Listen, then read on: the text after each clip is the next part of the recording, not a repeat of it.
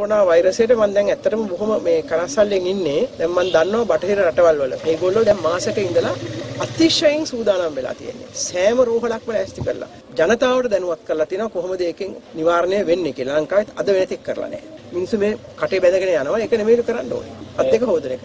ඉතින් හරියටම නම් සූදානමක් තියෙන පාටක් නෑ.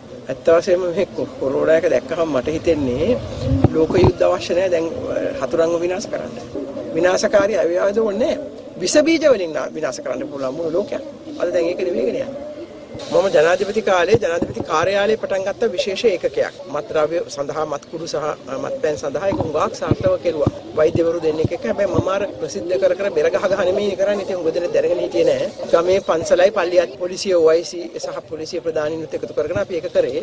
තරවටු කරන්න නෙමෙයි කතා කරලා වෙනස් කරන්න. එහෙම කරලා මේ අත්තනගල්ල මැතිවරණ කොට්ටාස ප්‍රදේශයේම කසිප්පු තිප්පලවල් 170ක් විතර අපිට අඩු කරන්න පුළුවන් වුණා ඒ වෙලාවේ. ඊට පස්සේ ඊළඟ ආණ්ඩුවේ නෑ කෙරුන්නේ බෙර ගහ ගහ කෙරුවා කියලා කිව්වා නමුත් කෙරුන්නේ නෑ එච්චර.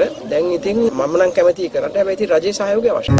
දිනපතා අලුත් වීඩියෝ සහ ප්‍රවෘත්ති නැරඹීමට ඉහත බටන එක ක්ලික් කර සියත TV සබස්ක්‍රයිබ් කරන්න.